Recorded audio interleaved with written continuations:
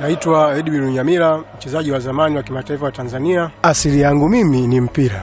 Nakumbuka toka enzi tukiwa watoto wadogo tukicheza mpira wa makaratasi mitaani. Unarudi nyumbani umechoka, umechafuka na madonda, mzee akikuangalia na kuchapa, hataki ucheze mpira, lakini wapi, unarudia tena. Kwenye kukua kwangu nimecheza sana mchangani, gombania kombe la mbuzi. Juhudi na mapenzi yangu kwenye soka ziliweza kunifanya hadi kutimiza ndoto zangu na kucheza ligi kuu na timu ya taifa. Kwa sasa mimi ni mchezaji mstaafu, lakini bado kama mnavyofahamu, jasiri yaache asiri, bado najiamini na soka langu. Yes, ni kweli tumetoa ofa yetu Azam FC. Tunahitaji huduma ya wachezaji ambao tunadhani wanaweza wakaisaidia na ni mapendekezo ya walimu wetu.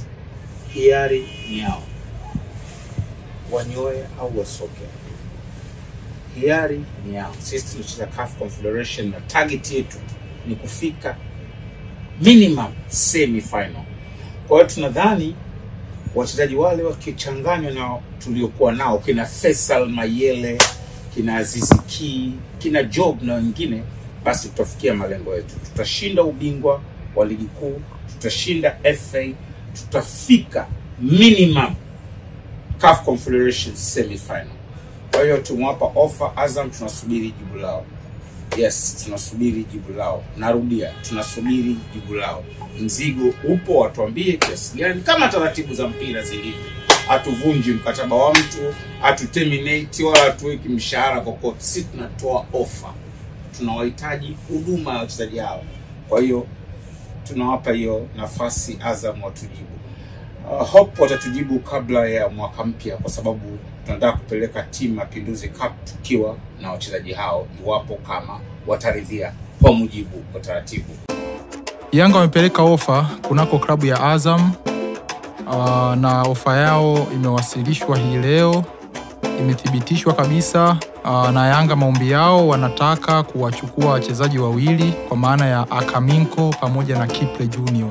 Uh, na watu wengi wamehusisha swala hili na swala la Faisal kwamba pengine Yanga wamefanya hivyo kama kutaka kuwakomoa Azam na sio kwamba wanawahitaji wachezaji hao. Uh, kwa upande wangu mimi, iwe ni wamefanya kwa namna hiyo au ni tofauti, nafikiri hao ni wachezaji wazuri kwelikweli. kweli. Ikitokea Yanga wanawapata wachezaji hao, nafikiri watakuwa wamepata wachezaji wazuri sana sana sana, kwa sababu tunajua ubora wa Akaminko. Kiungo huyu bora kabisa, ni kiungo wa soka, anajua kucheza mpira, anajua anachokifanya uwanjani, ni mchezaji wa daraja la juu. Lakini pia kama anampata Junior, ni mchezaji mzuri, winga mzuri. Kila siku tuna tunasema mapungufu ya Yanga. Mapungufu ya Yanga ni pembeni kwenye flanks, hawana wale mawinga ambao wanaweza wakalazimisha eh, wanaweza wakamlazimisha waka- mpinzani akafanya makosa ah, mchezaji huyo mmoja wao kwa hapa Tanzania ni Kiple Junior. Tumeona hata mechi ya juzi ya Azam pamoja na Yanga, mchezaji ambaye alitoa asisti mbili kwa Sopu, ni mchezaji ambaye ali- aliwauliza sana maswali mengi uh, mabeki wa Yanga, aliuliza sana maswali mengi kwa mabeki wa Yanga, na sishangai kuona Yanga wana- wanahitaji huduma ya Kiple Junior uh, pamoja na Kamiko kwa sababu ni wachezaji ambao wana deserve kucheza Yanga, wanacheza kwenye kikosi cha kwanza cha Yanga. Wachezaji wote hao wawili wanacheza kwenye kikosi cha kwanza cha Yanga, kwa hiyo nafikiri utakuwa ni usajili mzuri kwa upande wa Yanga, lakini itakuwa ni ni anguko kwa Azam endapo watawapoteza wachezaji hao, kwa sababu pia Azam wako kwenye kujenga kikosi na wanasema unapojenga kikosi chako utakiwi kukibomoa kwa kuuza wachezaji wako bora. Aa, na watu wengi wameenda mbali wakihusisha sakata hili na sakata la Faisal Salum. Aa, wengi wamesema kwamba Yanga wamefanya hivi kama kulipiza kisasi, kwamba Azam wamefanya hivyo kwa Fei na wao wanafanya hivyo kwa wachezaji wao muhimu. Nafikiri watu wanahoja, nafikiri watu wanahoja, inawezekana ni kweli, kwa sababu Faisal Salum ni mchezaji ambaye alikuwa ni key player na ni mchezaji ambaye alikuwa ni muhimu kwenye cha Yanga, na utaratibu ambao umetumiwa na Azam kutaka kumpata Faisal hau- mabosi wa Yanga. Hiyo kitu inapelekea viongozi kujisikia vibaya na kuona kwamba walichokifanya Azam sio kitu kizuri. Kwa hiyo yawezekana wanachokisema mashabiki, yawezekana inaweza kuwa hivyo kwamba Yanga wameona kwamba sio kesi, nyie mnamchukua Faisal sawa, hizi okay. Uh, basi na sisi ngoja tumchukue Akaminko, tumchukue na Kiple Junior. Na kwa upande wangu madili haya yakikamilika, kwa maana ya Faisal kwenda Azam na Yanga wakafanikiwa kumpata Akaminko na Kiple Junior, timu ambayo itafaidika moja kwa moja mpaka hapo itakuwa ni Yanga kwa sababu Akaminko uh, Kipe Junior ni wachezaji wa daraja la juu kabisa. Fei ni mchezaji wa daraja la juu, lakini uh, itakuwa ni vizuri kama Fei anaenda Azam awakute na hao akina Kamiko wawepo, Kipe Junior wawepo, hapo kutakuwa na muunganiko mzuri. Lakini kama Fei anaenda kule alafu Akaminko pamoja na Kipe Junior anakuja Yanga, hakuna kitakachokuwa kimefanyika. Azam hakuna atakachokuwa nakifanya kwa sababu Fei hawezi kucheza mwenyewe. Uh, Fei pia anategemea ubora wa timu ili na yeye awe bora. Pale Yanga alikuwa bora kwa sababu Yanga ni bora. Uh, kwa hiyo mimi nafikiri hili ni sakata tamu kweli kweli, na najua ni sakata ambalo linawafurahisha moja kwa moja mashabiki wa Yanga.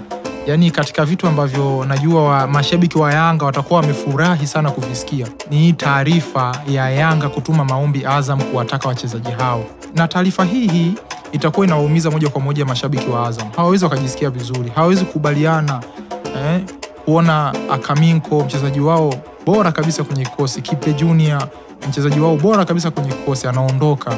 Eh, hivyo hivyo kwa Yanga hawakujisikia vizuri, na mpaka sasa hivi wanaendelea kujisikia vibaya wanaposikia Faisal Salum anaondoka na anaondoka kwenda Azam. Na nimeshasema toka mwanzo, siku zote kwenye masuala ya usajili, ukisikia timu yako inataka kusajili wachezaji wazuri kutoka timu fulani, ah, mashabiki wa ile timu husika ambayo ndo inasajili basi huwa wanafurahia sana, huwa wanafurahi sana kwa sababu usajili, kila mtu anatamani timu yake iwe bora, icheze vizuri, ipate ushindi kila mechi.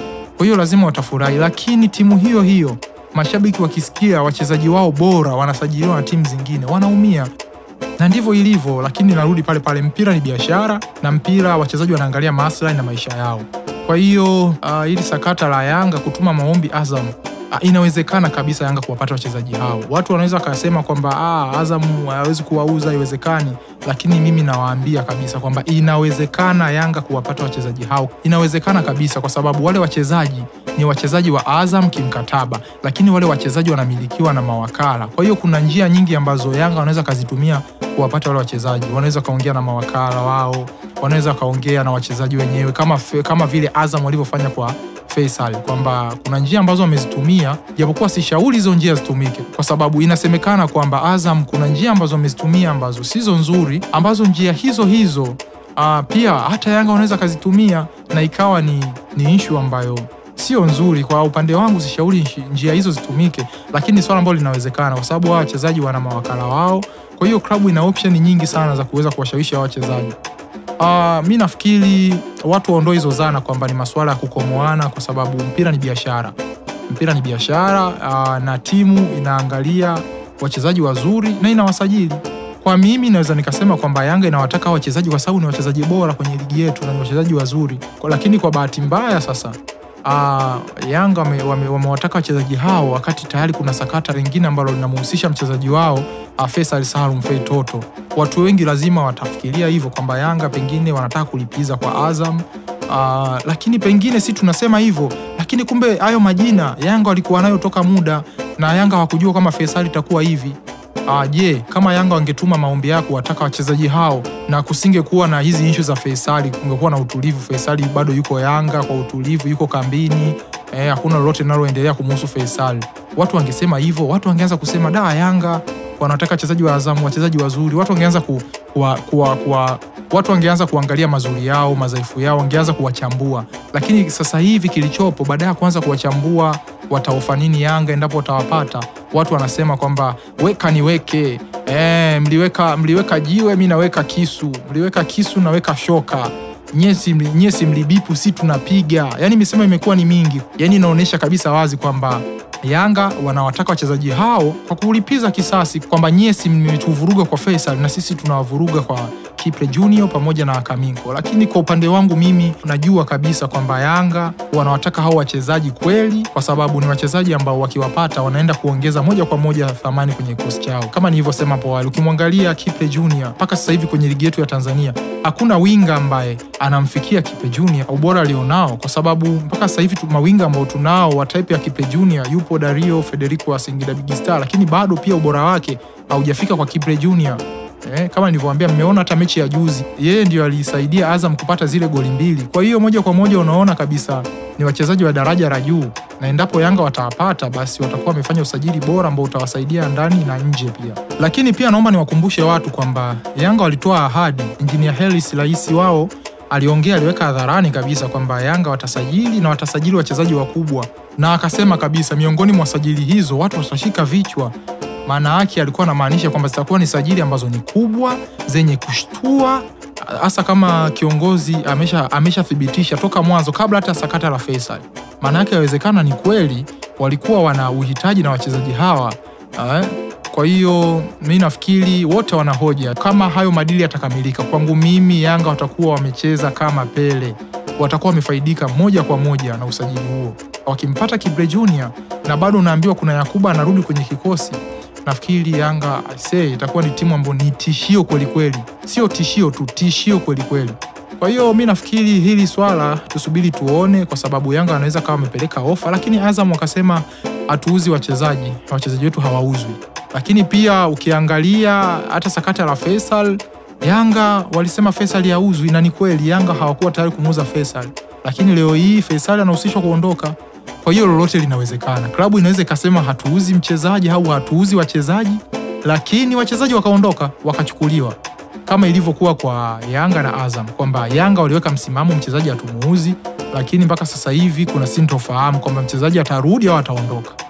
Kwa hiyo ikitokea ameondoka, maana yake Azam wa, ni, ni washindi kwa sababu wamemchukua mchezaji ambaye Yanga waliweka misimamo. Kwa hiyo hivyo hivyo ikitokea kwa Azam wakasema hatuuzi, lakini Yanga wakatumia njia wanazozijua wao wakapata hao wachezaji, maana yake ni nini? Yanga ndio washindi. Kwa hiyo tusubiri tuone ile sakata linaendaje na litaishia wapi, lakini ni watoe hofu mashabiki wote wa mpira.